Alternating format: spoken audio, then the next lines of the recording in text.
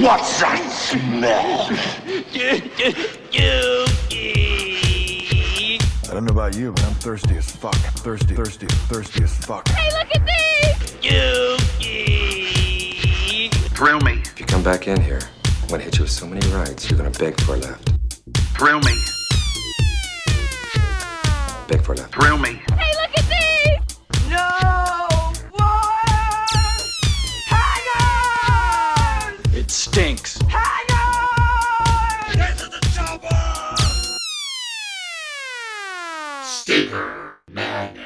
And welcome to the year six episode, part one of our year in review for our sixth year in podcasting. Uh, my name is Justin. With me are always Sam and Jackie. Good sixth year to you guys. Good sixth year Yes, sir. Uh, to you. to you, be excellent to each other. Yes. Oh, you two are such dick bags. shut up, you two. Shut up. I said shut Shut up. Uh, I remember when we had Toren Atkinson from the Caustic Soda podcast on here, and I asked him why they stopped so s- suddenly from doing podcasting, and he told me uh, when you get to year six of podcasting, uh, you'll know the answer why. Hey, we're still going, We're still going. still going. I guess those guys might have had more stuff going on. yeah, they uh, actually took the time to write their episodes Yeah, and do that's true. research. It's a lot of work. Bunch of we're just loafers. Yeah, we're just low. Yeah. We're just bullshitters. Um, this could be our last episode though, because I- uh, Jackie and I will be leaving uh, this coming Wednesday to go to Hawaii, where we will probably get quarantined for the rest of time, thanks to COVID nineteen. sure. but if you're gonna get quarantined, hey, Hawaii's a pretty good place to do it, right? Am I right? I think so. Why not? it's not like it, you know, it, it could be Des Moines where you're quarantined. As long as they got Netflix, right?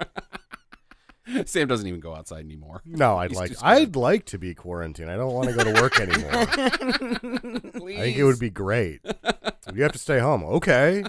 Thank you. It's like getting Really? suspended when you were in uh, in grade school or high school. Like, bummer, Yeah, it's not I'm being I get to be quarantined. right? I get to stay home. Yes. Thank you, sir. May I have another? Yeah. Are you saying that arbitrarily? No, I really mean it. Um, okay, so what we do on this episode is, uh, if you've never listened before, we break down uh, our favorite 10 movies uh, that we discussed on the podcast in the last year uh, that are pretty much like, you should stop what you're doing and watch these movies. Um, this episode, we will be going from 10 to 5. This is a two part episode because it takes that long. So, in this episode, we'll be doing uh, the 10 through 5 and then the next 4 through 1, plus our three favorite movies of 2019. So, uh, we're going to start with Jackie, your number 10 movie. Hello, Mary Lou. Prom Ah. night two. Yeah, really? Huh, okay. Kind of a surprise, which we did a podcast on. You picked it. Yeah. Um, I liked it because of the costumes, Yeah. and Mary Lou just kind of had it coming. Yeah. And I liked how she was like making out with that guy on the prop couch behind the stage. mm-hmm, mm-hmm. She's like, "You're a loser," and then she goes out and accidentally gets the catches her on fire. I mean, like, yeah, that, that shit happens all the time at high school. Pick a, pu- buckets of blood. Right, right. Um, accidentally lighting people on fire with Mhm, a firecracker. mhm. Sure, sure, sure. And you know, I'm pretty sure that back then, yeah, all clothes was just fa- flammable. Well, it was all rayon. Polyester. Yeah, polyester. It's actually made of gasoline. you know, you bring up an interesting thing about Hello Mary Lou. Is it is sh- she's essentially it's a slasher movie. Essentially, she's Yeah. a supernatural slasher, uh, spooky ghost. But the one the the difference between her and like your gen, uh, uh, typical slasher character motivation is like they're just an unstoppable killing machine. They don't have any motivation. They just like killing people. Their motivation is to use knives inside of people. Right, exactly. Yeah. Whereas Mary Lou's motivation for killing people is she is just a straight up stone cold bitch. Like just a real nasty lady. well, she had a nice tiara though. I did like her tiara. right. Um, and the first person she knocks off, right, which is probably my favorite because I think you see the cutting board, right, the where the paper cutter, and you think that she's gonna get her, you know, drug in there and then they're gonna chop her head off, right? But no, they just throw her ass out a window. Right. it's like what? like there's so many things that could happen, and they set it up that way. I think uh, maybe they didn't set it up intentionally, but uh, so many different ways that these people could die, and then the the lady who gets smashed inside the lockers too. right. Right. I totally did not see that coming. And then what does the janitor think when he walks in there?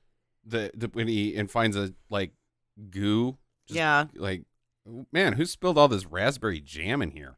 Why is there raspberry jam in a locker room? Who does that? These teenagers are weird. And then he just mops her up. Mm-hmm.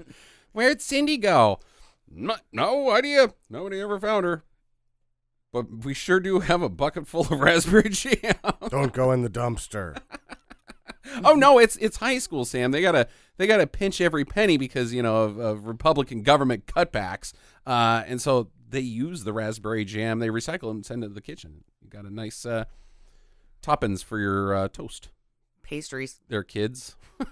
hope you like your uh, hope you like it extra jammy because we got a lot. yes, this Danish is made from uh, Sarah, who is actually Danish or was, but go. she's dead now and made into a pastry. Uh, I remember nothing about this movie. Yeah, you didn't. I don't think you liked. I it I didn't like much. it, Yeah. but I well, I was when you were talking about it, I was like, oh yeah. And then I think of something. I was like, Nightmare on Elm Street two. And they're like, oh yeah. And then I think so that that was Nightmare on Elm Street two. and so like every time you guys were talking, I was like, no, that wasn't night. Okay, and then he goes crazy and he can't remember. No, that's Nightmare on Elm Street two. what the fuck? Did I even watch this movie? Yeah, I, I still don't on it. remember it. Uh, yeah, she's a, a 50s prom queen bitch that uh, gets turned into a spooky ghost and just starts killing teenagers because she's a straight up bitch. That the one that started at the diner at the beginning. No, it started. It starts at the prom. I just, uh, Yeah, yeah, Yeah. It wasn't your cup of tea, Sam. it wasn't. Yeah, I don't remember it. yeah, I guess not. But Jackie loved it. I did. Number it was my 10. number 10 pick. Number ten. I uh, I'll give it an honorable mention. I thought it was okay. Uh, my number ten. Chuck Norris in Breaker Breaker. Breaker, breaker. I made it a little higher up for me. Yeah. Um, Breaker Breaker was a surprise for me for sure. Sure. Because I just thought, as I've said before, I'm not the biggest of Chuck Norris fans. Uh, I, I absolutely love the Delta Force, but after that, like, I really don't like Invasion USA very much, even though I quote it all the time. Uh, I don't really like. Uh, I don't even like Lone Wolf Quaid, Quaid that much, and everybody fucking loves that movie. Um, I just think he's just so doofy that I just can't get behind him. But so when I went into Breaker Breaker, I was like, okay, this is a trucking movie with Karate Guy. I'm probably going to be disappointed in this. There's just no way that this can work. Its own gravity will Yeah, implode it. and and it's early on in his career. Yep. Nobody talks about it. Uh, it's, it's just not going to be very good. And boy, did I love it! It is my absolute favorite Chuck Norris movie because I'm not going to count the Delta Force because that's an ensemble. Sure. Uh, uh, but Chuck Norris lead Breaker Breaker was by far my favorite, and like almost got me to be like, maybe I should watch all these movies again and just Mhm. see if I actually do like Chuck Norris because this shit is awesome. yeah. My favorite was the uh, bar lady who was dressed up like a baby doll. mm-hmm, mm-hmm. That apparently was the town slut. Right, right, Or just one of the mayor's girlfriends. right, right. He had like a, a harem thing going on. Uh huh. Uh huh. And this the scene where he unleashes the Chuck is probably like like it should be more iconic. Yes, him farting the rocket out of the back of the motorcycle in Delta Force is like the most 80s action movie thing you could possibly imagine. But that scene where he just runs around and beats up an entire town with his hands while they're all running away from him mm-hmm. is fucking hilarious. Yeah. Uh, especially the guy that takes it in the nuts is one of the best nut nut tragedies I've ever seen. And then he gets stuffed in a barrel. And then he gets stuffed in a barrel. I mean, he says no, he gets cock punched and jammed in a barrel. the, that town didn't just get their ass kicked; they got embarrassed. Like, oh yeah. I mean, the other towns around this town, like you know, because in, Sam and I grew up in a small place, we all know each other in small towns, not just Yeah. like within our towns, but we know the people in the other towns Uh-huh. too, because it's There's only so many people. yeah, you, you can count them all on your fingers and toes. Uh, they had to know, like, dude, did you hear what happened to Rock Ridge last week? I mean, seriously, one guy came in there and embarrassed them. He stuffed a man in a garbage can. No, that happened when we were like in high school. Like one kid would beat up like half of a high school uh-huh. at a sporting event. You hear about oh those guys from Salmon River wieners. they got beat up by one guy, by a freshman. by a freshman. Then you end up playing as a guy. That guy is a fucking animal. What the fuck? I'm pretty sure that man is 27 and eight feet tall. Which is possible because in small towns you just get to go to high school until you're done. Right. so you don't Play el- sports eligibility, whatever. He's 32. I'm pretty sure the uh, county is paying that guy a salary. uh, so yeah, I mean, it's not just the fact that it's a trucker movie, and I love all trucker movies. I shouldn't say that because there was one that definitely didn't make this list. Uh, but it, it's just as good of Chuck Norris silliness as you can as I can imagine. yeah. So, and then there's trucking on top of it, and the trucking doesn't suck. The trucking doesn't suck. Right? It's pretty good trucking. And it also, they, they run over an entire town Which is pretty awesome. with Which is trucks. pretty good trucking. And at the base of everything, the whole reason for this altercation is a caper involving TV dinners. Right? Indeed. Uh yeah, absolutely. Breaker breaker number 10 from me. Sam. Uh, my number 10 was a weird one that we just watched in between Dark Angel with Gary Daniels. Oh, right. Where Gary Daniels is like a cop from a different country, but he just shows up and freelances his way Uh-huh. through the whole fucking movie. Right. And, And- he's, he's as Gary Daniels as you can possibly get. He doesn't have the long hair. He's got the short hair, which Yeah. is always a disappointment. But uh black leather jacket. Uh-huh. Uh Guess jeans. Guess jeans, like so Gary Daniels. And Why do I not remember this? You didn't watch it. yeah, you don't like the karate movies. Yeah. Yeah. Oh. Um, he also in this one, beyond his character being the biggest dickhead on the planet, that he's doing everything illegal, freelancing through law enforcement. He himself personally is doing a bunch of take that Van Dammes Uh-huh. through the whole thing Oh, thing. absolutely. Like, look at my butt, Van Damme. Oh, look at these shoulders, huh? Oh, you can do the splits. Look at that. Oh, and then he's really pretty snarky about it. I might actually enjoy this one if he's no, in you your would face, probably Van like Gary Daniels movies. Um, she did. She liked uh, Fist of the North Star. Fist of the North Star was awesome. Yeah. Uh, are you sure that it was called Dark Angel because that's also the same title as uh, uh I Come in Peace? I thought you were, I thought you were talking about a different movie. Wait, no. Um, Dark Angel was with uh, that was I Come in Peace. What Oh, right, Lundgren, right, right. Lundgren. Yeah, this yeah. was um, Deadly Target. Oh, Deadly Target. Okay, yes, I do remember uh, Deadly Target with Gary Daniels. Deadly Target. So yeah, my number, the movie I liked number ten the best was one that I couldn't remember the name.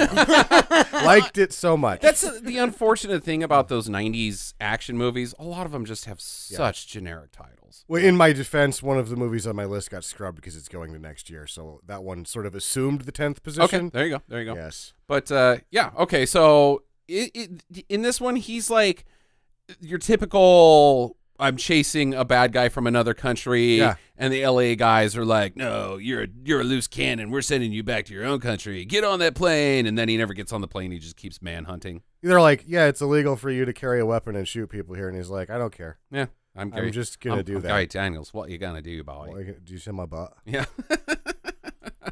Now I'm going to karate chop you in the nut. Uh, actually, of all the Gary, you were the worst with accents. His is so bad that you just nailed it. you just it. nailed Gary Daniels. Yeah, Daniels. you are Gary Daniels. We need to buy you some Guess jeans and a black leather jacket. And That's been my dream since I was in elementary school. he doesn't wear wife beaters uh, or white tank tops, I should call them. Uh, he just wears white T-shirts, like exclusively, doesn't he? Well, that no, are tucked into his pants. I think he does the tank top thing too, but it's Okay. not the the sort of tight fitting undershirt tank Mhm, top. mhm. It's just a tank top tank top. That he has to tuck into his pants. Yeah, because- most likely you got to tuck your. Yeah, you, you always do that. Well, my my, you I want you to see my butt. Uh huh. Yeah. Yeah. Get a look at this. gotta- These buns. Pants are up a little too high, so that your butt crack is clearly visible through the jeans. Yep, this sounds like my kind of movie. Uh, yeah, no, it might be Jackie Deadly Target. Uh, what else you got about it, Sam? Oh no, I mean just, it was that was why it's it's just fun. Wasn't there somebody else in it? Was Chad, Chad McQueen wasn't in it? No, It was just Gary Daniels. pretty much. Yeah. Okay. Uh, the Chad McQueen one was from the year before, but yeah, it's it would be we'd be remiss if we didn't have a year of this podcast that Gary Daniels wasn't on somebody's top ten. We didn't have Gary Daniels in last year, did we? No, he was in the Chad Well, McQueen Chad McQueen movie. one, yeah, with no. uh, the Ultimate Warrior. It's good. We need to. We probably should spend more time on Gary Daniels. They're hard to year. come by, Yeah. unfortunately. Like we've we've done a pretty good job. Like him and Cynthia Rothrock, we've covered their catalogs pretty good. That's available, but Uh-huh. there's just a ton of shit that for some reason Amazon Prime's like, oh, we're not putting that crap on it. Yeah, dude, you're Amazon Prime. All the crap is on you. Yeah, exactly. Now that's true. We have been like, whenever they come up, it's like, oh, they're on. Let's go. Hey, watch Gary this. Daniels, uh, David Heavener uh, is another one that Yes. like, we won't pass on, and now Chad McQueen, Chris Mitchum, and uh, uh, Chris Lee- Lemmon is now Chris in that. Lemmon, yeah. is now in all. But not Lee Majors too. but not Lee. Ma- fuck Lee Majors too. We need to move on because I'm just not talking enough. oh, I see how it is. It's all about me. it is uh, number nine from Jackie. King Ralph. King Ralph. King Ralph, Wow. really? Just really liked it. You know, I kind of did too. so. It was kind of dumb, and Uh-huh. but I mean, there's just something about just the ridiculousness of of a Las Vegas showman who has a sucky act anyway, Mhm, right? That mhm. goes and tries to be a royal, and the only thing he didn't do was rip his pants. Right, right. His, Yeah. his butt didn't come out. Right. Uh, but I really liked the uh, the Swiss princess Mm, oh yeah, yeah. with the with the deep voice. It's Mhm. like, I want you to spank me. Drew me on this balcony right now, King Ralph, and he's like, "Good." Yeah, that was kind of fun. I I just really liked it. I thought it was uh cute and entertaining. There is as we described we can't really say what it is about king ralph but there is something like charming about it it's John not that the- Goodman. it's not i don't know if it's even him because the singing and dancing and that piano scene is Sucks. just so painful to watch um but like I, I i do think that like when it wraps up you're like man you guys had a really shitty script it wasn't funny except for only in a couple spots but when you wrap this up and they arrest uh, John Hurt, uh, you're like, good moral? What the fuck just happened here? Yeah. Th- this turned into a good script all of a sudden at the end. What the hell? So you, it ends on a good note where you're like, huh, you know what? I, I kind of feel good about that movie. Yeah. if you stopped it, if you stopped 10 minutes before, you'd be like, this is a piece of shit. I hate this shit." movie. And I thought it was fun that they they played darts and they drank beer, Mhm, mhm. and then they're like, "You want to go for round two? And then they go outside and play with spears. right, right. I thought that was kind of cute. Yeah. Yeah, it's, it's Maybe more shit would get done if people were a, a little more, you know, relaxed. less stuffy. Yeah. Um, yeah, and then you get a little too relaxed, and you end up with you know, fucking Mike Pompeo giving hand jobs to fucking dictators. But you know, whatever. I'm not going to make this episode political. As long as he's got some good hand lotion. Yeah, you don't want a chafed wiener. Yeah, no, that's what's worse. You know, you're giving dry handies to dignitaries? Come on, Dic- man. dictators, dignitaries. That's a, a- he's just freelancing. He's just giving hand jobs to whoever. Yeah, right. He's just behind the dumpster at tacos, tacos, tacos. Yes. he's just totally pushed Terry Calls over. it the pump. Hey, oh, you like that? Uh, Oh, yank, yank. Yankee, Yankee, Yankee Doodle Dandy. All right, uh, King Ralph. King Ralph, my number nine. Yeah, and John Goodman is like, I mean, in that movie, his trajectory was clear. Like, Yeah. he's superiorly talented. He's fantastic, even though that scene is just so cringeworthy.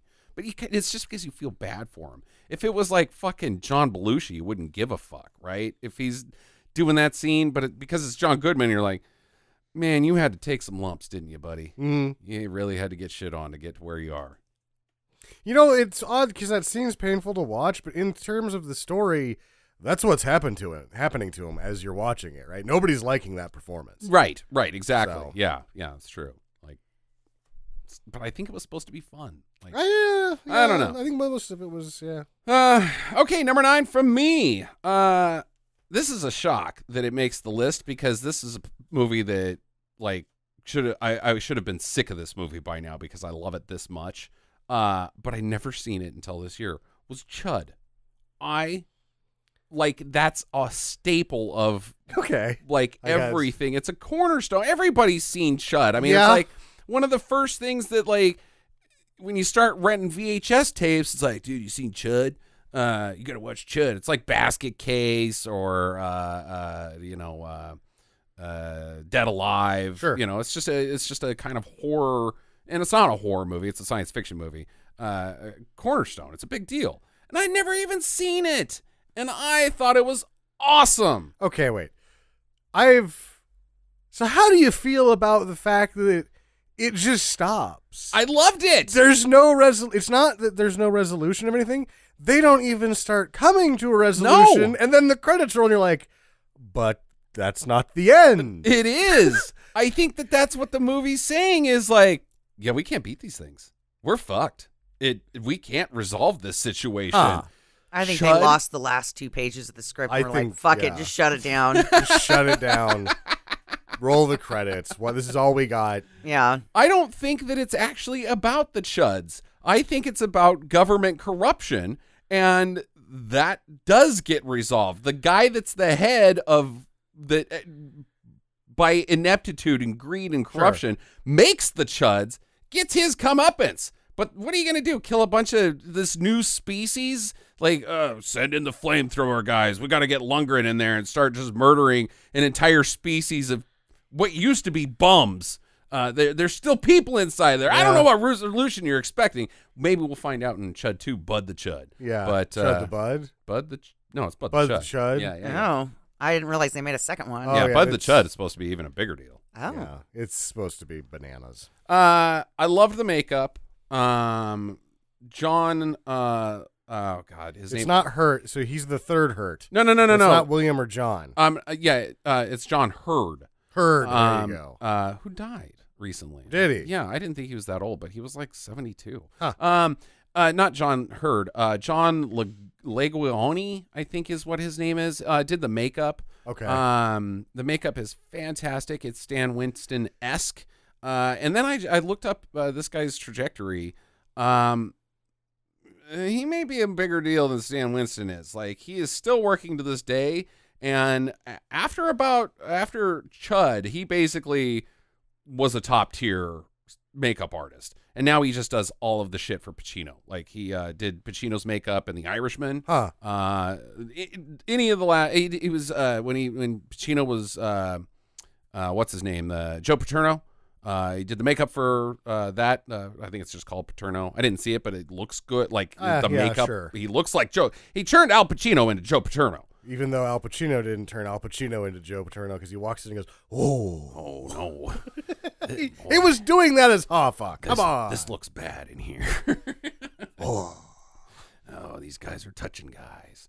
Um, but uh, yeah, so like really cool makeup effects. I love creature features in general.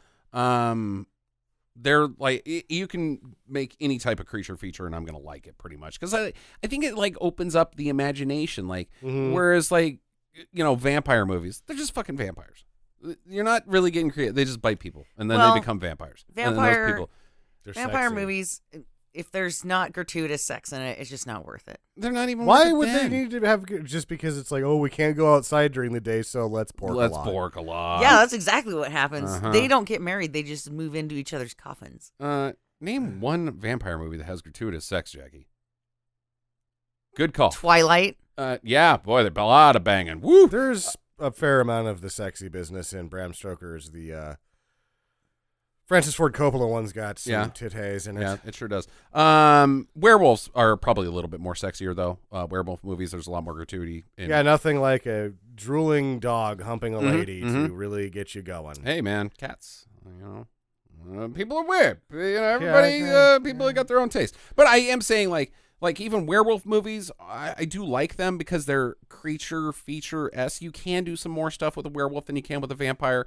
Uh, but slashers, no, they you just walk slow and have a big knife. That's dumb. But creature features, like the whole thing is open. You can be as creative as you want because you're making it up as you go. There's no, there's no, uh, uh nothing to. You're not adapting uh, somebody else's work. You're making your own, and I, I just love creature features. And Chud Sure. was a goddamn good one. So, Sam, Number nine for me. number I'm gonna nine. give a little shout out to Freddie Olen Ray. Okay, yeah, yeah. Mach two. Mach two. with Brian Bosworth Yeah. and Worf. Uh, did I watch this No, one? I don't No, think you you did. didn't. And this was a big. You're gonna have. You might have to because I I'm still debating. Uh, Denise. Richards was in it too. Denise Richards Yeah. is in it, and uh, it's one of the Vault movies that Wynorski got all that footage, Uh-huh. and so they would just like challenge each other to make these damn movies, Right. And then stuff another movie in the middle of it. This one is my favorite of all of those movies that I've seen. Because the chase scene that they jam in and how they work it into the movie. So you're on an airline, and it's the Concorde is the other movie they're stealing from. Uh-huh. It's one of the Concorde Right, right. So all of a sudden you got Bosworth flying the Concorde, which makes no sense. No, none. And then uh what is Worf's real Michael Michael Dorn. Michael Dorn is like a government official who then it's almost the same fucking uh plot as Cliffhanger. Mhm, like he mhm. just borrowed that and it's right around the same time. So he's like, Oh, I'm gonna do some cliffhanger up front and then I'm gonna jam these other two movies in here. So Michael Dorn is heisting the Concorde that's just traveling across the US for whatever reason. I thought it was the last flight. Was it the last Yeah, I thought it was the last It was like a test flight or something. Yeah, no, I thought it. Well, Con- Concorde test flight. No, not. There's only like eight people on the plane. Right, right. No, I thought it was like the last one. They got some press there. Denise Richards is there because she's like, uh, I thought she was like one tough cop or something to keep an eye on things. Yeah. So what? Whether she gets onto his trail or not, he ends up pulling a heist Mhm. on the airplane, which is them then him and his partner jumping out of the Concorde Right. on parachutes. I don't think you can do that. Actually, I don't think Yeah. you can slow the Concorde In fast enough that you can jump out.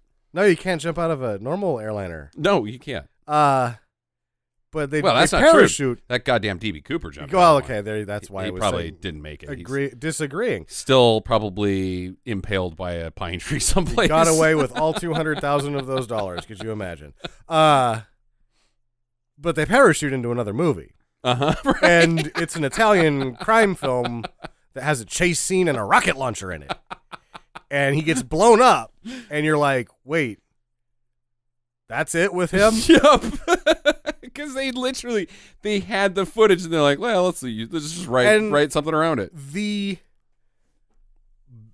most Fred Olen Ray thing I've ever seen because it was a Fiat Uh huh. in the chase scene and he didn't have one. He couldn't find one. Right. Didn't even try to find one. Knew a guy with the black Mazda. Knew a guy with a printer. Put the black Mazda in front of the camera, stuck the sticker Fiat over Mazda, and fucking shot the take. And you're like, it's the same. it's the same. I was I was astounded. you can't tell the difference. I was, he's like, that one's a Fiat. especially because the footage the uh the archival footage is like from a like has a totally different uh film Yeah, it's a stock Yeah. and so when they they're splicing it back and forth it's like dude guys it's a different car but more importantly there's grain in one of these Yeah. things there's cigarette burns and then there the you clearly tell that the other one's much more modern film Absolutely. The the blending of the two of them was an impossible task, but just by the numbers, he played it as straight as he could. The angles are all right. car is a different car, but he, the angles are all right. Right, right. The film stock is different. He's probably using digital, but it cuts together seamlessly, other than the fact that you can tell that it is a different movie. and exists for no reason. For reason no Yeah. reason. No, it's it's a great scene. Yeah. Uh, even even the rest of it, uh, we were expecting to be go into it and be like, oh boy, this is gonna blow ass, and it was a lot of fun.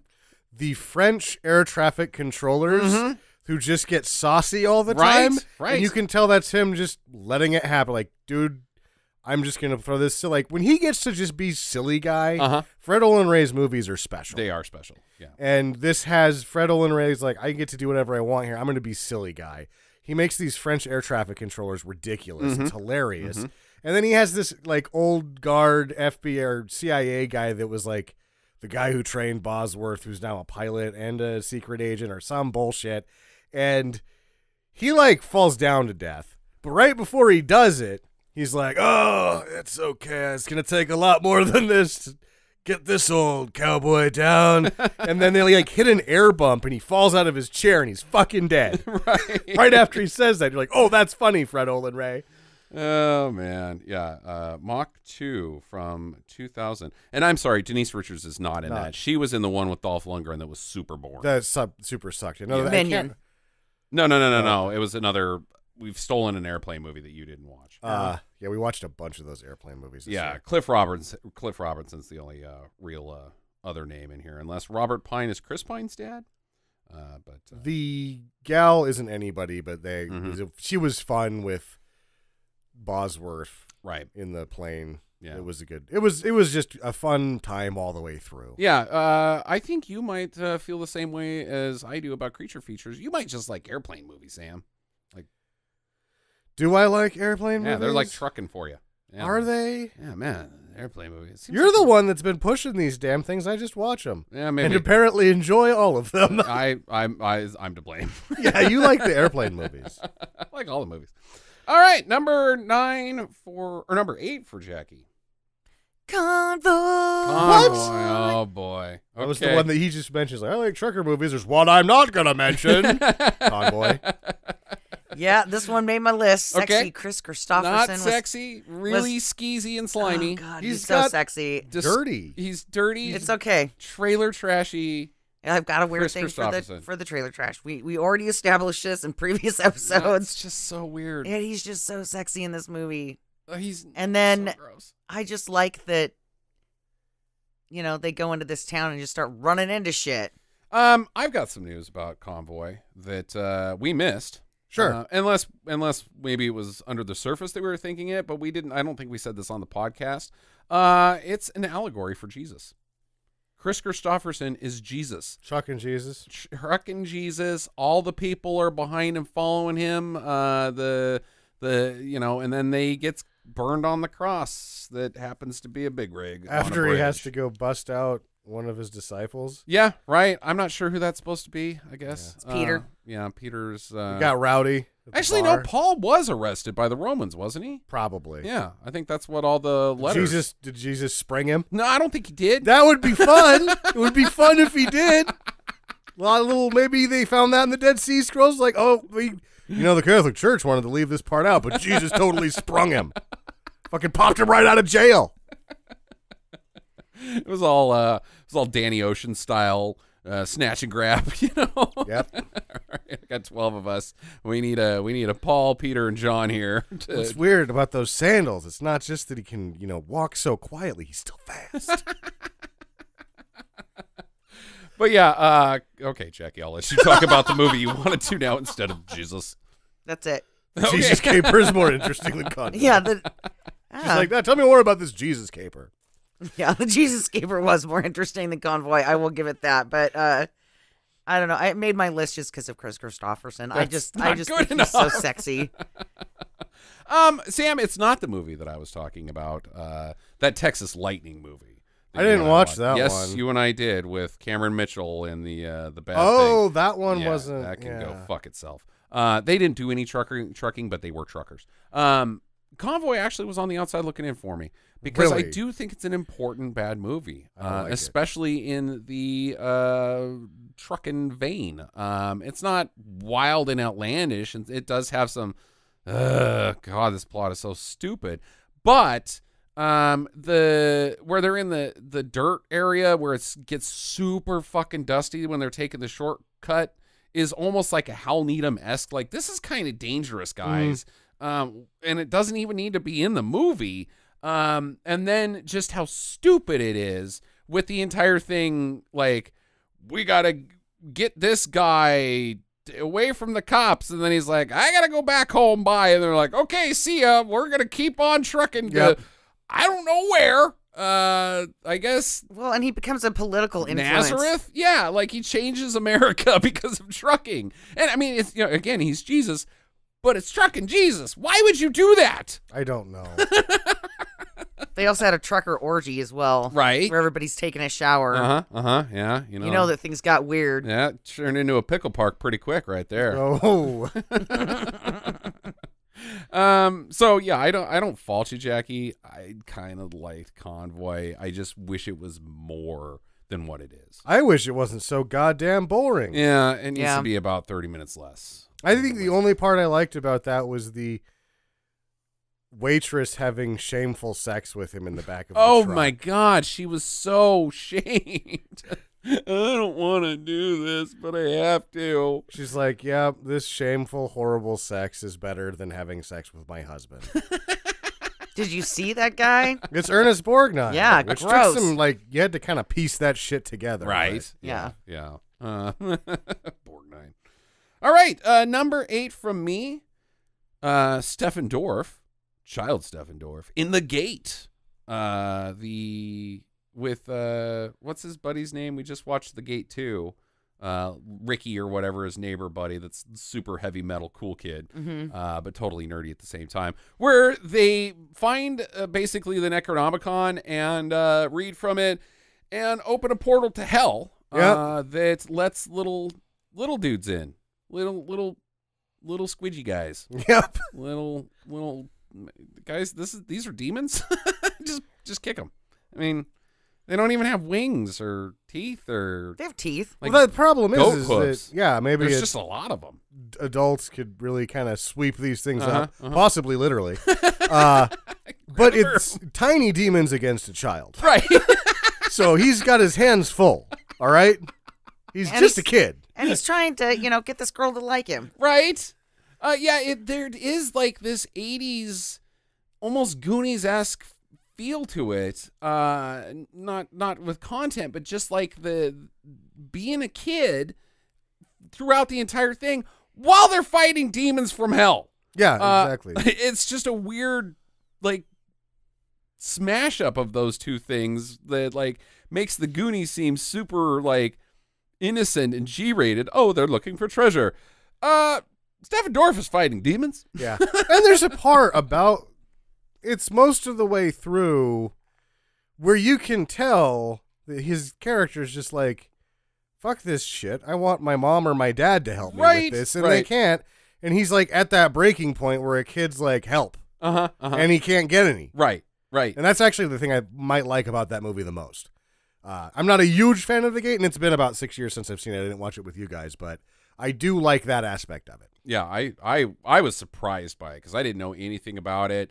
We just picked it purely on the cover. We, we watched it the same day I watched Chud. That was one of the best movie days I've ever had. So fucking strange. because you did the same Because thing. Mark Roman and I watched those two movies on the same day Yeah. about seven or eight years Yeah, they ago. make a great double feature. It is weird how that works. Yeah, yeah. There you go. Uh, we're probably not alone, but uh, yeah. And I thought that there were some really good, like horrific things in it. Some terrifying things. The guy in the wall.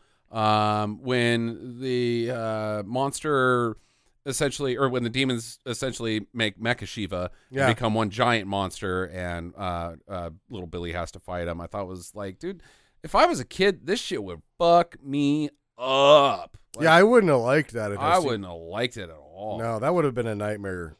That one would have caused some nightmares. And there's there's it's one of those weird rare horror movies for us that like most ho- cor- cult, cult, uh, cult horror movies are very gory. Uh, this had very I don't know if it had any gore in it. no, the It had a dead dog. Yeah, that's true. But if it wasn't, Wasn't- gory, yeah, he was just dancing with it. it almost is like because it's not rated R. It's PG thirteen. I think so. Yeah. It's almost like this one is really like whoever made this was like, I'm really gonna scare the shit out of some teenagers. Yeah, dude, this is gonna fuck some shit up, man. Um, the because the practical effects are good. It's just not gory. Uh huh. Uh huh. Like the when the hole in the ground's happening and all the wind and the lights and Right. everything. I mean, that looked great. It Yeah. looked great. Yeah, yeah. It's uh it's it's not there for you to make out during uh when you're in the movie theater teenagers. It's there to make you uh beg for your mommy Yeah. at night. It didn't scare me because, you know, You're an I'm adult a, man. I'm a grown ass man. I don't get scared. grown ass man. I had Demons didn't Yeah. scare me. six buddy wisers to put me to sleep after that scary shit. uh, no, after that I had some I had some warm cookies. With marshmallows, please. And I slept with the lights on. Yeah, and a blankie. Uh, Took all the books out of my room. just in case one of them was the Necronomicon. um, yeah, the gate. Uh, there you go. Sam number eight. Wolf Devil Woman. Wolf Devil the Woman. Taiwanese Yeah.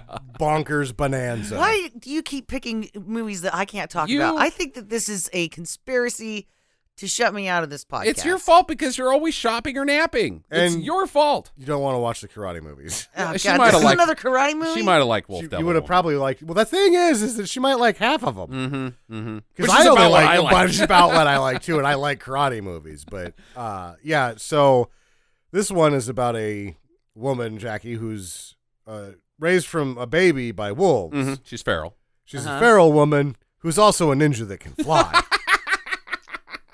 and then she's approached by uh, Prince, who is also a flying ninja, Uh-huh. Of course. and his sidekick, who's named like Gary or right.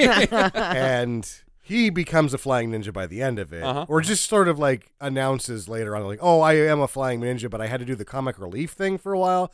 But now that we're all fighting, yes, flying ninja." Uh, and they are looking for a magic turnip, This sounds amazing. Uh, so they can defeat a bunch of Power Ranger bosses. uh-huh. and Ah. it turns out that the king is also the bad guy. Right? Yeah, like weird plot twist. I didn't see it coming because I couldn't really understand what was happening half the time. Uh-huh. And uh, the the prince becomes magically powered uh, evilly, And falls in love with the Wolf Devil woman, of course. but his dad poisons him with bad magic, and so this comic relief and the feral ninja flying wolf lady have to defeat everything and then save the prince and I guess fall in love and move back into the forest. And try to keep bunnies away from her for the rest of time. Yeah, you don't want to have bunnies or chickens anywhere Uh-huh. around her. She just rips them straight in half. with her bare hands. bare hands, Does it- rips them in half. Need a knife, just they just come right apart. They're like uh like it's like uh mozzarella sticks. string string rabbit. Yeah, and she, does it in slow motion, and she like joyously rips them apart. Yeah, she flies through the air like half chicken. it is insanity for sure. Um, you know, it's it's like everybody's talking about Parasite. You know, all Sure. the people are talking about Parasite in, in South Korean movies, and they're like, "Hey, turns out South Koreans can make good movies." Yeah, we knew that. There's lots of good South Korean movies, uh, but are there any good Taiwanese movies? I'm sure there's some good ones, Because they're all every single one I've seen is just bonkers. I, it's I, I'm probably a broken record on this. Whenever we talk about a movie from Taiwan, it's like they see the Shaw Brothers movies, they see the Kamen Rider movies. They're like, oh, the Toei stuff is really good. Oh man, this Golden Harvest stuff is really good.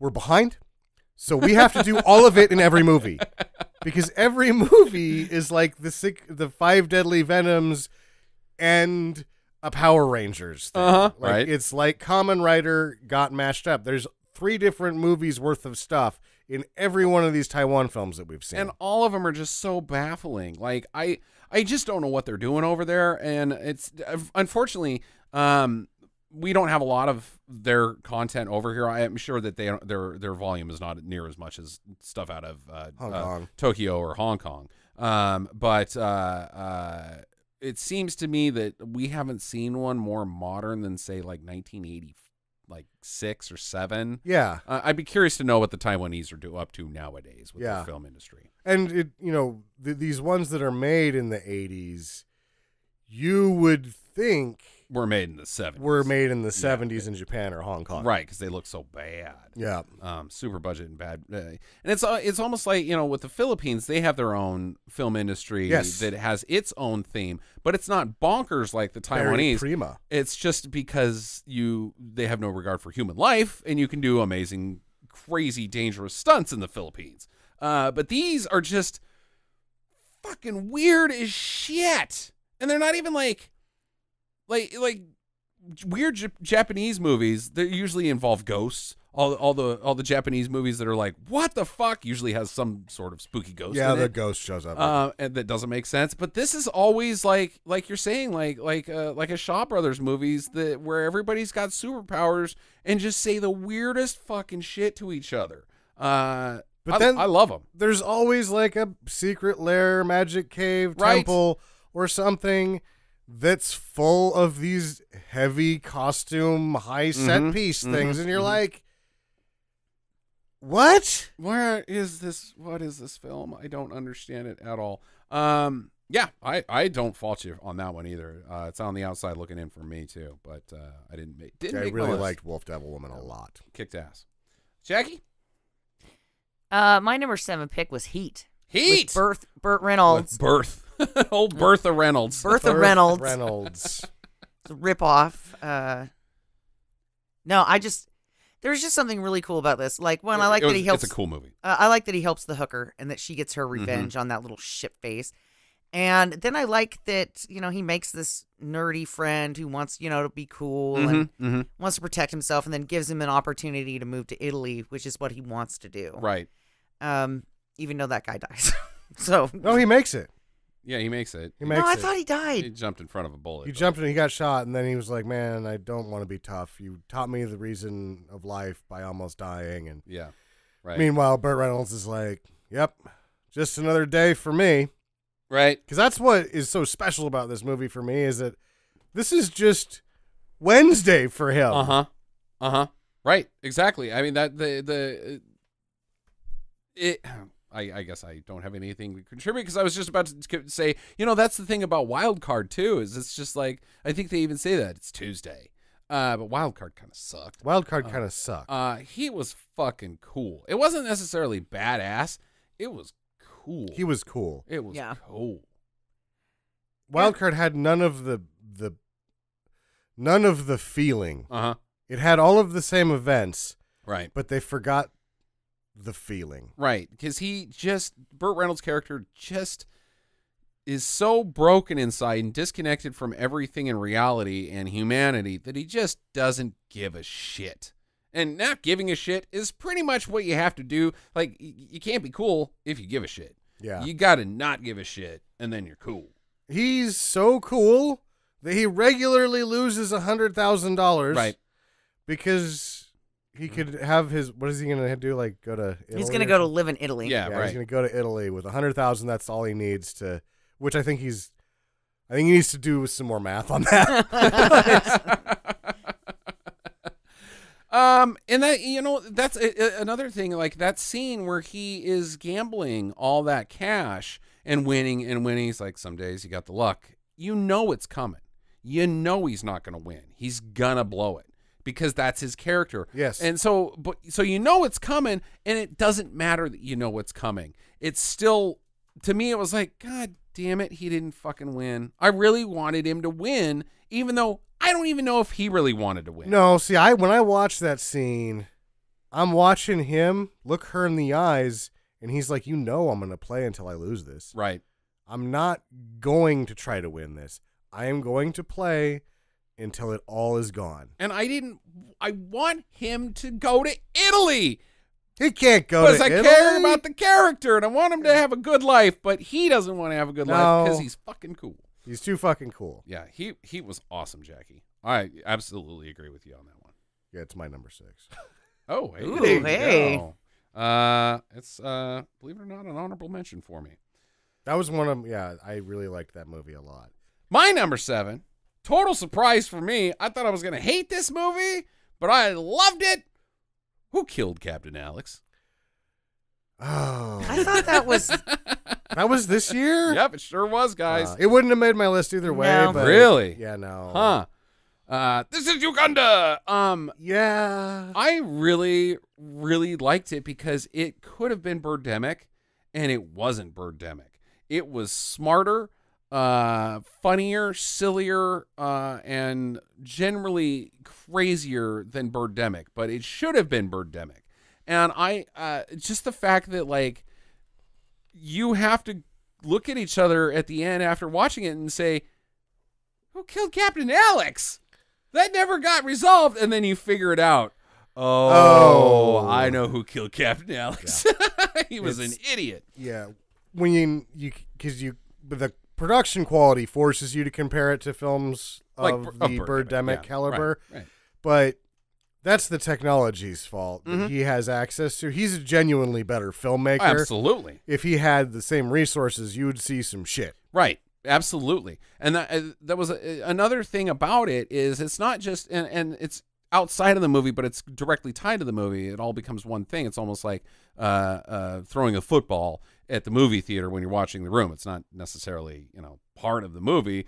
It's an experience. Is learning all about Hollywood and uh, you know learning about uh, Ugandan film culture. And a yes, it sucks over there, but they still have this like experience that is so you know uh, not necessarily mundane because I don't consider watching movies mundane, but how they do it and uh, uh, it's just so very normal. Whereas you know their their country is you know just getting shit on so hard that they can still all get together and enjoy making movies. They love it that Or much the- and and have that budding you know aspiration. I think it's just cool. The communal movie viewings, where Right, they that too. have like a master riffer in Mhm, that, and so it's it's all very interesting. Uganda. Well, and I think that that's what made the movie so special was the the overdub of the guy commenting. Right. At first, we didn't like it. We were like, "Dude, is this guy gonna shut up?" At the ba- at the end of it, you're like, "It's not. It wouldn't be the same it without it." wouldn't be the same without it. Right. Right. Agreed. Yeah. No, I really liked Who Killed Captain Alex. I was super surprised that I did.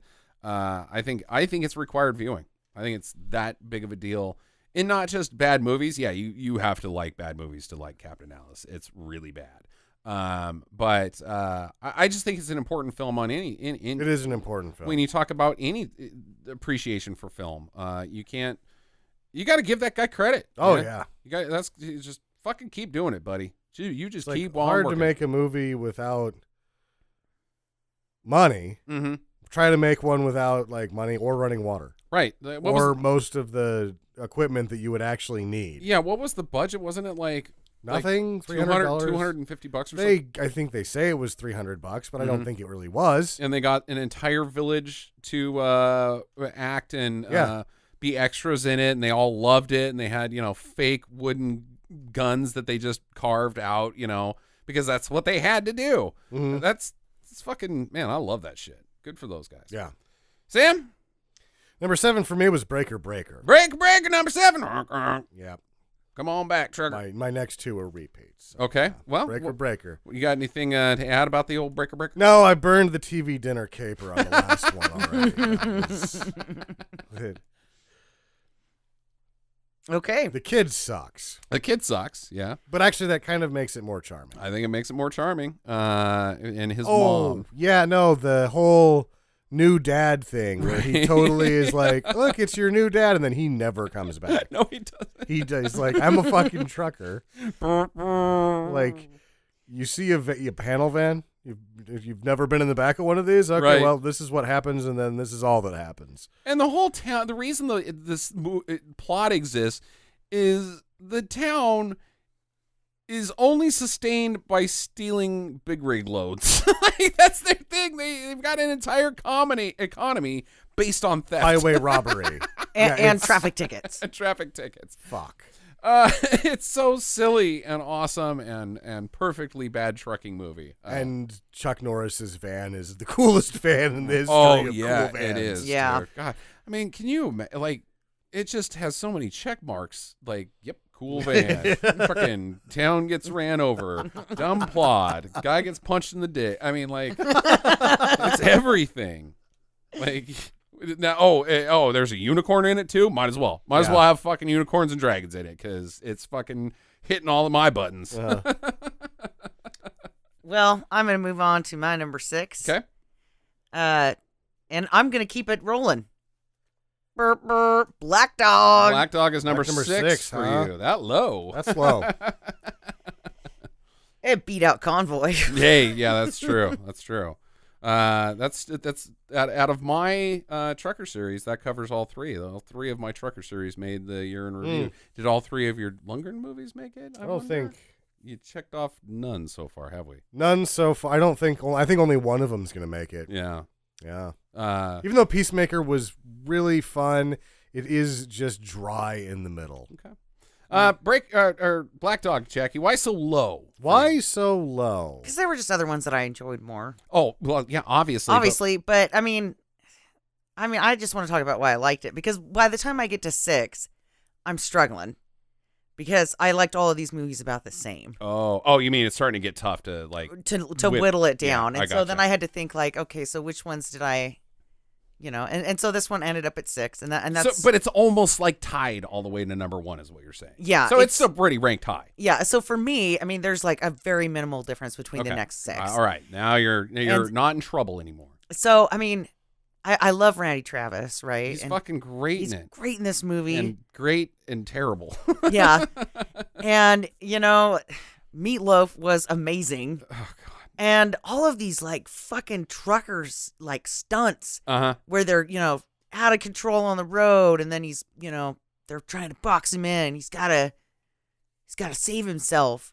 And then that dog. This is a fucking rando dog in the back of this truck Yeah. Right. Right. Right. who ends up being pretty cool. Yeah. Yeah. And uh, is a family dog at the end, I believe. Uh, Murder family dog. Murder family dog. Right. murder family dog. So I mean, I just I don't know. It was it was enjoyable. There was a lot of action in it, and it's just the hijinks. There was just so many weird hijinks. Like, why did you even let the truck leave if you're just gonna You steal the shit out of it? Stupid criminal. You were so bad at this. Yeah, it's like this is like a really crappy plan, Meatloaf. yep. Yep. We're gonna steal that load from us. We're gonna steal it. We just had it. Also, make sure that we don't get an inept uh, truck driver. Make sure we get the best truck driver who's ever lived. I mean, he because he's Dalton. Like Yeah. he, he's like uh, the we got to get a uh, bouncer. Well, make sure you get the top bouncer in the world. There's no such thing, guys. Get an inept truck driver, somebody who's gonna not fuck with this. Instead, you got a murderous nutcase who is willing to run anybody down in a truck, a, a big rig. Like Uh-huh. he, he, he is. This man has no fear. Uh, Fresh out of prison. super bloodlust. Bad call. You guys stink at crime. Oh yeah. And then let's run him off the road on a steep hill so that we can't recover the product, and Right. and it'll just blow up. Exactly. also, we have to wait to pull this caper on ourselves for after me getting done clipping my coupons. That's right. and Tasani guy was there. yeah. Asani uh, guy. Asahi. Asahi, Asahi guy, yeah. Asani. Tucsonny. Uh, yeah, also- it's always good with the Soggy guy. Um, yeah, no, fucking Black Dog is so cool, dude. It's just the best. Uh, number six for me. I think I'm alone on Mount Olympus with this one. Uh, I don't know how Jackie doesn't like this movie. I don't know how I do. Breaking Two Electric Boogaloo. Fucking hated this movie. Fucking loved it. It's higher on my list. Oh wow. oh my. Yeah, Uh, it, it was that kind of a year. It's just too much fun. it's, it's too too much, much goddamn fun. fun. I did not think this movie was fun. How? I don't understand you in any way. we hate singing and dancing, and we're like, You- look at this one, and you're like, fuck it. You I don't like it. are from a different planet. Uh, I don't get it. Uh, yeah, dude, it was awesome. I thought it was gonna suck. I thought like the hype for it was gonna be too much. That it was gonna be like almost like Skate Town USA or something like that. Sure. But uh, uh, dude, it was just fucking nonstop crap. Uh, and like, it, like all of the best parts of Miami Connection uh, with Dragon Force Sure. for two hours. Yeah, It's pretty much. Just a two-hour Dragon Force concert. Um, See, and for me, it was like you really want Popeyes, but then somebody brings you KFC, mm, okay. and you're like, oh, well, I guess I'll eat it. well, that's cool because we're not talking to you right now. Whoa! you don't like Electric Boogaloo. Fried chicken burn. Damn, feel like I just got slapped in the gullet. It was just all of the bad 80s dance moves that you could possibly imagine wrapped around this silly we got to save the community center plot. Sure. Um that should not have worked for me. I should have hated it. And I fucking loved it. I would like to have a copy of Electric Boogaloo. I liked it that much. Like I would show people Electric Boogaloo and they'd be like, Dude, I don't like singing dancing movies. I'm a I'm an actual dude. Uh I'm not I'm not some weirdo like you. And I'll be like, dude, check your role. Let's check this out. I am still astounded by how good it is, considering they turned that from pre-prod to the theater in six that months as well. Uh, yeah, it's, yeah, it's, it's a historical film uh, Yeah. for sure. Uh, but it, I thought it was goddamn entertaining. Oh, yeah. That room or that uh, uh, scene where they do the rotating room from uh, Nightmare on Elm Street, I thought was really well done. Actually, Mm-hmm. or maybe it's The Fly. Uh, I'm not sure which came first. Was Nightmare before? No, it is Fly? the piece. The actual uh, construction is the same one used in Nightmare. Oh, oh, okay, okay. They just got it from Wes. they Craven. borrowed it, and that's Yeah. where the thing that like, in terms of making this movie from conception to in the theater as fast as they did, Mhm. that they're borrowing huge pieces from other films in that period of time. Like to do what they did here is pretty impressive. Yeah, yeah, and uh, you know, God, it's one of the few Golan and Globus movies that we hadn't gotten to yet, and Yeah. uh, uh, man, I think I think it's a staple. I think it is awesome. I loved it. I'm ready to watch it again. Cut to Sam. My number six, N- Uh, yeah, you're number six. Heat. Heat. Ah. right. Yep. Because you said that earlier. Yeah, I loved this movie.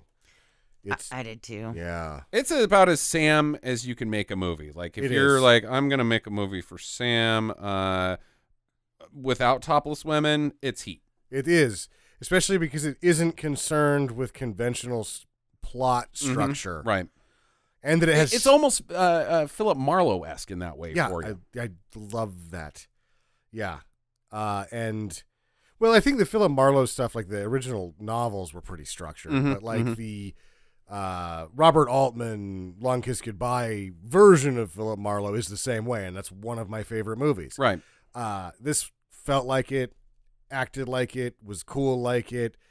I kind of like Reynolds' character a little bit more uh, than I liked Elliot Gould. Elliot Gould. I agree with you there because I think Elliot Gould talks too much. Burt Reynolds just kind of shuts the fuck up and lets his hands do the talking. yeah, or his credit card blades Right? because he almost kills a man with credit cards. yeah. Yep. And Stefano Demira is in it as Stefano Demira, Right. which is awesome. It is awesome. Everything is about this movie is awesome. Yeah, yeah, I, I indeed, I it's it's awesome. Jackie, number five. Uh, so my last one for this episode is Angel has fallen. Angel has fallen. All I, right. I felt like Nick Nolte really stole the show, mm-hmm. and he was a total badass, and I super liked that. Um, I don't know. I and, and you know it's it's Gerard Butler for me. You know he's a good action guy. Granted, it wasn't as actiony. Was a good action guy. It, it wasn't as actiony as No, some he's a- of his other now films. he's a broken man. yeah, but Literally, his head came off when- I- in a motorcycle accident. and They put it back on. What do you want from him? Jesus, negative Nancy. No, what do you want from him? He can't do stunts anymore because he broke his neck twice in two years. Who, people die when they break their neck once. That's how tough that guy is. Is he's like, well, I guess I have to not lift this heavy shit anymore after having my neck snap twice. Being sub, he's gonna have to finish out submarine captaining. Yep. Yep. Yeah. Yeah. And uh yeah, I mean I like the series. Mhm. I liked that, you know, his character just keeps building on it, you know, and it, it progresses naturally and then, you know, he's this is my dad. I thought that was a nice twist and I thought it was funny. You know, I thought it was funnier than the other ones. Oh, it was definitely funnier than the other ones. Yeah, for sure. Um, the one thing that like we don't talk enough about about Banning is that usually in this type of film franchise, he's got a he's got a very stable home life. Um, usually in these type of franchises, he's either gonna not have a very stable home life. The wife's on Qu- Quaaludes, or he's always gone too much, and there's some yelling scene between the two of them. Like you're always putting yourself at risk before your family. You love the president more than you love us. Uh, that never happens. She's very supportive. She like he's got a very stable and happy home life. The other thing that could happen is she gets kidnapped Yeah. because they're coming after Ben, and that never happens. And both of those things would have sucked. Yeah. and they didn't choose to do either of those things, and I think that's cool. It is cool. Well, I think that they were going to kidnap her, but then Nick Nolte shows up right, and right, right. Yeah, kicks some ass and I thought that was great. Yeah, there was no like you got to choose between the president and your in your family scene that like is shitty. Like, in, of course you're gonna write that scene. That sucks. That never happened, and that's that's what I think is cool. Yeah. He can just do his job. I Uh, I find it astounding that that made it into a franchise. No, yeah, absolutely. like too. how because the first one is a standalone thing Absolutely. and it should have not worked. If you looked at it on paper, like Antoine Fuqua. No, thank you. Mm-hmm. Mm-hmm. Oh, this is a confinement film about a, a murder guy that the guy from the the Sparta thing. He's just gonna shoot some people, and I'm gonna like that. The guy with his butt out? Huh. Wow. How about that? Okay, whatever. And then you watch it, and you're like, huh. And then everybody else did the same thing, made enough money, and then of course it's Lionsgate, wasn't it? Yeah. They're yeah. like, well, if we made money, we have to make another Right. one, regardless of what it is. yeah. Right. So now there's three of them. Yeah. thank God there's not going to be more because I don't know that you could do anything else with it. I I think it's ran its course for sure. But uh, Yeah, I agree. I think three is the, the magic number on this one, but I'm glad that they made all three, I am too. and I'm glad that we own all three. Yeah. Um, they're just fun movies, so it had to make my list. Absolutely. Um, I uh, you know, wrote a novel based off of the Angel Has Fallen or the, the Has Fallen franchise. My character is just Danny or Banning. Um, but uh, yeah, it's it's it shouldn't have worked. It shouldn't be a thing. Uh, and it's basically the return to action movies, action action movies. Sure. That that Sam and I were talking about for years, and then finally it just fell in our lap. We thought Paul Walker was going to be the guy that didn't work out. Sad to say. Uh, and then uh, you know, Banning came along, and it was like, oh, thank God, I have a dumb action movie to watch. It's Mhm. new. Thank you. Thank you. Thank you for doing this. Mhm. We need more of this. Sometimes you just need to stuff popcorn in your face. Yeah, and Yeah. I don't want it to be Ryan Reynolds for my action guy. I don't. I don't want Ryan because Reynolds he's. to- I mean, sometimes he is really funny. That's fine. I just want a guy to shoot another man in the face. that is tough. It's tough. A tough Not- guy. Yeah, we don't actually need um a guy that was cool in college to do our shooting Yeah. for us. Like that doesn't work for me. No, he's not a good action guy. I, I would agree with you. There's just something that my action men need to be gritty Mm-hmm. and you Big, know, big is another thing. Like, Yeah. big guys are cool. It leaves. It doesn't.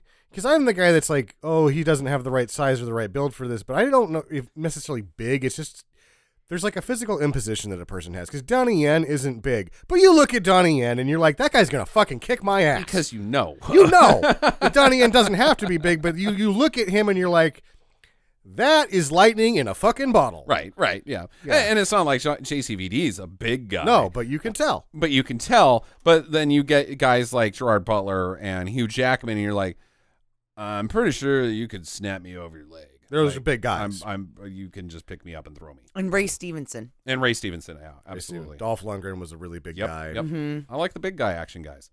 Uh, but you're you're talking about live, whereas Ryan Reynolds is not live. He's just dude. He's just nerdy. He's just a nerdy dude. He's the one that's like, I'm a superhero in the bar because he dressed up like Spider Man, and you fucking push him down. And you're like, drink beer off the floor, you little bitch. He's he's literally Spot in the Spider-Man universe, which I know none of, neither of you guys are gonna get, but uh, Spider-Man people, you know what I'm talking about. I, oh, he's fine as Wade Wilson. I got no problem. With Oh yeah, no, I, I'm too. I'm saying in real life, he's Yeah, he's. Spot. He's I am a superhero. Mhm. Uh, oh, no, you're not, buddy. Uh, yeah, I think that good call, Jackie. Angel has fallen. Number five for me. I come in peace. So Dark Angel did make. Dark Angel, you fucking better believe it. God damn it! If I, didn't like if I didn't much. Put I liked come it. in peace in a, on my fucking top ten, throw me out of this goddamn podcast because I got no business. You didn't. I didn't get do out of this podcast. You got no business. Yeah, I didn't put that one on my list. what you either. didn't either? Get out of this Get out of here. Maybe it's because I've it- seen it in a number of times or something. That happens because like I didn't put um, my Mhm. favorite bad movie of all time into the list last year because I just assumed that America 3000? yeah. Yeah, that was in the year before. Ding. Whenever it was, I didn't put it in because I was like, ah, this is my favorite. No, movie. it literally was your number one that year. You no, the year after where I had to put it in again, I didn't. okay? Because you watched it twice. I guess I don't know. Whatever. Anyways, uh, Dark Angel slash, I Come in Peace, starring Dolph Lundgren, where a uh, juice stealing alien comes to Earth and pilfers human juice. adrenaline. yeah, stuff? adrenaline. And uh, so uh, there's there's a a essentially a, a- yeah he's a drug dealer. There's an Abraxas style uh, uh, alien chase that Dolph Lundgren gets mixed up in the middle of. One of the craziest car chase scenes that I've ever seen, uh, and uh, just lots of shenanigans throughout that I think is like, I think it's like the most Lundgren movie I could possibly think of. Like just 80s Lundgren in a nutshell. This is what we signed up for with this guy, and this is what we got, and I'm glad for it. I asked for this, and you delivered. He gave it to me. Yep. Yeah. No, I, I, I don't know how it doesn't, but um, yeah, I just thought it was fucking sweet. Huge explosions, cheesy one-liners, uh, insane stunts, um, doofy villains, Awesome sidekick. awesome sidekick. Uh, His love life is fucking ridiculous. it's insane. Uh, and then the, of course, CD death gun that shoots CDs and kills people CDs. is just so iconically late 80s that it's like, yes. Nobody's gonna know what these are. Yeah. Until next year, when everyone has a shit pot full of them. right? Until you buy Rattle and Hum on CD. yeah. Boy, those took off a lot faster than I thought. Whoa, hey. like it's just uh, like I I I'm gonna say this again later, but if you like if you defined 80s action, late 80s action, it's it's this movie, Mhm. and I I thought it was just fucking sweet. Did not disappoint. It exceeded my expectations. There you go, Yeah, I'm with you. I really liked it too. Sam. Number five. Let's close it out. Number five for me is a film that I've been showing people for years and years and years. Uh, Debbie does Dallas. Navy SEALs. Navy Navy SEAls. Navy SEAls. he just shuts you down. Navy SEAls. Navy SEAls. You have to say it like that too. okay, all right. Be- It's such a. It's terrible. It's a real bad movie. It's really bad. It. They're the biggest dickheads ever. It's stupid, and all they do is barely make their huge fuck up less of a fuck up, and it wasn't even that bad of a deal anyway because they're just like surface. They're handheld missiles. They're just handheld missiles, guys. they're not. They're You not sell these to weapons. everybody. Yeah, I mean it's not Ten of them, really? Oh, it's it's not in the Navy gas. SEAls. It's not anthrax. No. I mean, Well, he shot his friend. That Yeah. kind of was sad. yeah, Or What- got his friend shot. or he shot himself, or he died from a brain aneurysm. The jury's still out on that one, Jackie. All right. Yeah, uh, it just doesn't line up. It's the it's the magic curving bullet from the grassy knoll scenario. Can't have gotten shot by those guys. but um, Sam, Well, other than uh, it's just been a treasured film of mine for many years because of how bad it is. Mm-hmm. I, it's just a little too much.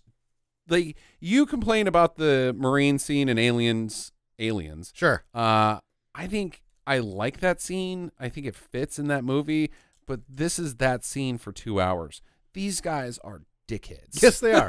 Well, he parks his car in a green and then gets the car off of the tow truck as the tow truck's driving. I literally hate these guys. No, Yeah. you have to hate these guys. I hate these guys. And that's hard for me to watch a movie and be like, yeah, dude, watch this because you're going to hate these guys.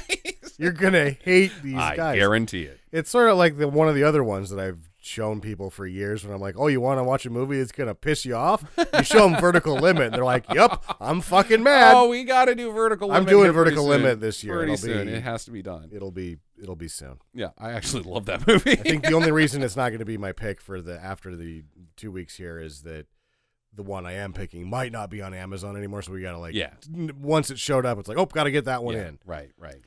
The the other thing with this movie is uh the boys are back in town. I Oh, can't God. listen to that song now without thinking of that scene where they're running around playing playing golf polo It's- in the golf cart. It's just the shitty, it's shitty version of the volleyball scene from Top Gun, which is shitty. Which is shitty. with right. less with more shirts. Right, right, right. more shirts and less uh, abiding by rules. They're not abiding by the rules of golf. The Or gentlemen in society. Top Gun at least are playing by the rules of volleyball. True, true. Uh, no, these guys just suck. They are just suck so bad. Uh, so if you can handle that, yeah, I think it's there because it's bananas, it's bonkers, it doesn't make sense, it's terrible. It's I think why it's such a special movie to me is because I, it, I, when can you find a group of heroes that you're supposed to love? That You hate more than these guys, Right, you is- can't. that is a high bar. What it is, and that's what makes it special. Is like S- s- SWAT, epic fucking fail. SWAT or No, no, you don't hate the SWAT guys near as bad. uh, the one, no, not I'm not SWAT. That's with uh, Colin Farrell. Uh, the one with the Schwaz movie with uh, The Gunfight. Dependables? No, Gunfight. Yeah, the uh, DEA movie. What the hell was that? Yeah, called? we we gave we said it was- sabotage. yeah, sabotage. Like those guys but you don't like that movie. You fucking hate that movie. Sure. Uh, but yeah, sabotage. You're supposed to think that they're heroes. Maybe I couldn't No, tell. they're I bad guys. They're just bad guys. They're bad guys. So no, no, it's Navy SEALs. It's Navy SEALs. Yeah, they're supposed to be heroes, and you're like, oh my god, I fucking fuck these. It's also fuck like these guys. Someone making this was like, "Oh, this is going to be like a promotion. This is going to be like a recruitment film. People are going to join the Navy." and it's a real bad look. It's a real And bad it's look. a real bad look. like, uh, there's going to be many congressional hearings, guys. They may shut down the Navy SEALs because of this film. so you didn't think you'd have them like rescuing people and having successful missions? You just have them go in there, fuck some things up, not really fix it, and then the movie's over. right. All right, whatever. Would I have gotten the flag if we were married? Oh Yeah, man, bad acting. That Yeah. is- that scene, the the funeral scene is just so cheesy and bad and over dramatic that that that in itself is maybe enough to be like you should come here for this movie and watch this. Just that funeral scene is so bad. The Michael Biehn yelling at Joanne Whalley about "We're out here putting it on the line." that was really fucking bad too. God damn it. Uh, man, I wish I liked that movie, but I just can't because I hate them. but I understand. Yes. I understand. I think it's a either you love it or you hate it movie. Um, so uh, good call. All right, guys, that'll wrap up uh, episode one. We will be doing part two next week, so come back for that. We'll, where we will discuss one through or four through one. So enjoy your week. Get to the chopper. Fans of Stinker Madness, iTunes thinks you don't like us. What? How is that possible? Well, it's because you haven't given us a review yet. Go to Stinker Madness on iTunes and take just a couple seconds to rate and review us there. While you're at it, hit up Stitcher.com as well. Be sure to follow us on Facebook and Twitter at forward slash Stinker Madness and email us at talk at stinkermadness.com. We'd love to hear from you. Thanks for listening and get to the chopper.